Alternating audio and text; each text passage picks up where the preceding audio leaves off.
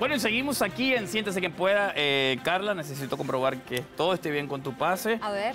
Y sí, aquí está firmado por contenidos y por nuestro productor ejecutivo, así que te invito, si eres tan amable, a que nos presentes tu pieza. Let's do this. Ok. Bueno, señores, actualmente la vemos triunfando en la telenovela Cabo eh, con su personaje de Jimena. Y en la televisión hispana, pues la conocemos de toda la vida por ser la eterna rubia exuberante, pues pretendida en la vida real por todos los galanes más famosos del cine y de la televisión. Aquí les dejo, pues, esta plática íntima entre mujeres, entre amigas. Esta es mi exclusiva con la villana más temida de las telenovelas, la gran Felicia Mercado.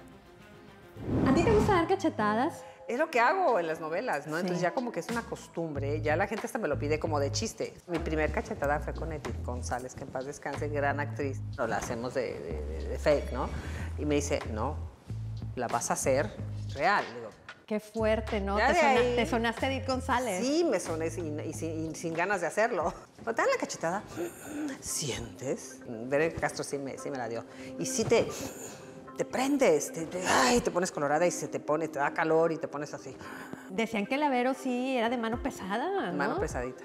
Ha habido peleas entre actrices porque se, la cachetada, aunque se hayan puesto les de acuerdo, pasa la mano. se les pasa la mano. Hay una mecánica supuestamente Ajá. que es, pues obviamente, la mano abierta y es no aquí, no la das acá, la das aquí. Y entonces no duele igual y lo haces tomando vuelo y tienes que ponerle drama para que parezca, wow, le dio el cachetadón. Es, es nada más hacer la, la finta, ¿no? Y que Ok. te vayas conmigo. Por Eh, eso se claro. practica, ¿no? De va y dices, oh. No te conocemos ningún escándalo, has tenido una carrera limpia. ya ¿sabes? necesitan, ¿verdad? Porque ya me lo están pidiendo. Ay, oye, pero vamos a empezar el primer escándalo. Ah, Ah, no, mira. A ver, ¿cómo le hacemos? Te besuqueaste Pero- con pero Juanga. Para, para la fotonovela. Son cosas que, que dices, me besuqué a Juan Gabriel. Estas experiencias, mis primeros comerciales que hice fue de una cerveza con Mauricio Garcés. Mira, pero y Mauricio Garcés, cuéntame, eh, ¿te coqueteó? No me coqueteó nada, al contrario, muy vanidoso. Y él decía que yo le tapaba su luz.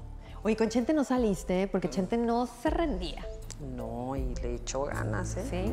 Te dio regalito, Quiso, ¿sí? ofreció. Un pony. De muchas cosas. ¡Ay! Pues dices, pero ¿cómo? Era tan chiquita y tan inocente y tan... Sí. Digo, yo sé que suena mm, cursi.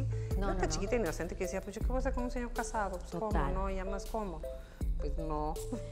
Felicia Luis Miguel tuvo el honor de salir contigo cuando Luis Miguel era bien guapísimo. Ay, sí. Estaba chiquito, pero pues es más chiquito. ¿Cómo conquista Luis Miguel? Qué difícil me la pones. Para él no necesitaba conquistarse a nadie. Estaba bien bonito, pero luego, ¿qué onda? La platicada y todo también estaba padre. buena. Sí, la verdad, ¿Sí? sí, sí, eh, platicamos mucho y yo teniendo poquitos más años que él. Le decía, pero ¿por qué estás mal y por qué te deprimes y por qué? Dice, pues que tú no sabes mi vida. No, sí, tuya, allá, ¿no?". allá Pero y- eh, no se sabía en ese no se sabía lo de la mamá y el papá. y- Por ahí me dijeron también que andaba tras tus huesitos Fernando Coluca.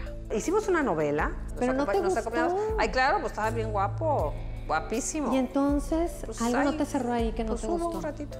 ¿Sí? Un día sí agarramos borrachera y él no toma yo tampoco. Sí, y la verdad seguimos siendo muy amigos. Oye, pero besa muchísimo. rico. Sí. Sí. ¿Y quién besa más rico, Luis Miguel o él?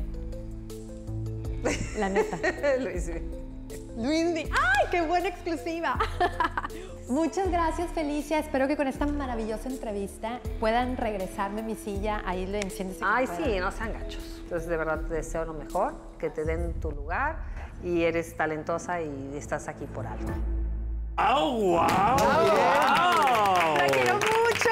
Ay, no sabes qué delicia platicar con una señorona como ella con tanta Qué experiencia. delicia es Felicia. Exacto, exacto. La verdad es una mujer extraordinaria, maravillosa. Ella fue, o sigue siendo, fue un ícono de la moda en aquel tiempo con ese pelo exuberante tipo Farrah Fawcett, siempre lo ha tenido así. Y se sigue manteniendo espectacular y también con una sencillez extraordinaria. El que te haya confesado ese tipo de cosas me parece que fue muy, muy buen trabajo. Gracias. Y este, y ella, pues bueno, eh, supimos, a través tuyo nos estamos enterando que tuvo varios, varios galanes detrás de, ¿Tú, de ella. tú, su- tú, tú también o no? ¿Yo qué? ¿Tú, tú saliste con ella o no? No, yo estaba bien chiquitito. No, no, pregunte. ¿no? Yo, Pero que- por favor. Oye, oye, pues, Dice que tenga Felicia. Yo era un Oye, niño cuando la veía yo decía, wow. por favor. Por favor. Ella estuvo aquí hace, hace una semana o dos y la verdad que está No, hermosa. mira, mira, ella es el- la prueba fehaciente, en este caso linda, siente, eh, de que una mujer que empiece su carrera profesional en el mundo de la actuación en las en los pasarelas de los reinados de belleza, porque ella fue Miss México en el año 77. Ella representó Sí, sí, a la sí. nación azteca en el certamen de Miss Universo que se llevó a cabo en Santo Domingo eh, ese año. Y yo me acuerdo, pues no me acuerdo porque yo no, no había nacido todavía, pero veo imágenes de ese momento. veo imágenes de ella en ese momento y yo decía eso mismo que tú estás diciendo. Mírala, ahí está. Una rubia exuberante que empieza su carrera y se le tomó en serio, a pesar de que en ese momento las mujeres que pasaban por los certámenes de belleza no se les tomaba tan en serio como buenas actrices. Han transcurrido décadas, sigue siendo una de las grandes actrices y de las villanas más potentes que existen en la pantalla chica. Y yo creo que habla de ella, no solamente su profesionalismo, su belleza que la conserva intacta, sino también lo buena gente que es. Porque lo que hemos tenido oportunidad de compartir, de interactuar con la gran Felicia Mercado, yo he tenido la oportunidad de hacerlo en muchas ocasiones y de verdad qué belleza de persona que es. Así que me encanta que esta exclusiva te la haya dado a ti, estas Gracias, revelaciones. Oh. Y bueno, me parece De- fantástico. déjame decirte que es una mujer hermosa en toda la extensión de la palabra. Tuvimos la suerte de conocerla aquí. Yo casi me muero, me da un infarto, porque yo soy muy fan de las telenovelas donde ella ha estado. O sea, ¿cómo olvidar ese final de Rosa Salvaje, donde se la arrolla el tren? O sea, ese, ese- ese final fue icónico. Se la llevó el tren, amiga. Sí, se, la- ay que sí, se la llevó el Se tren. la llevó el Qué tren. mujer tan guapa. Se ve igualita Sí. que con- o cuando hizo la telenovela con Verónica Castro. Sí. ¿Les puedo presumir algo rápido? ¿Qué? ¿Qué? Ella estuvo en la película de ¿Dónde quedó la bolita? ¡Ah! ¡Sí! Claro. Yo tuve el honor de estar con ella o, este, en esa película. Oye, ¿y dónde quedó la bolita? Y besa rico. No me Vámonos a una pausa, vámonos a una pausa. Y ya regresamos. Vamos a ver qué dicen los muchachos.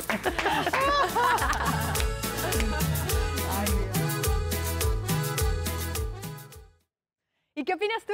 Ponlo en los comentarios. Si te gustó, regálanos un like y suscríbete a nuestro canal para que no te pierdas nada.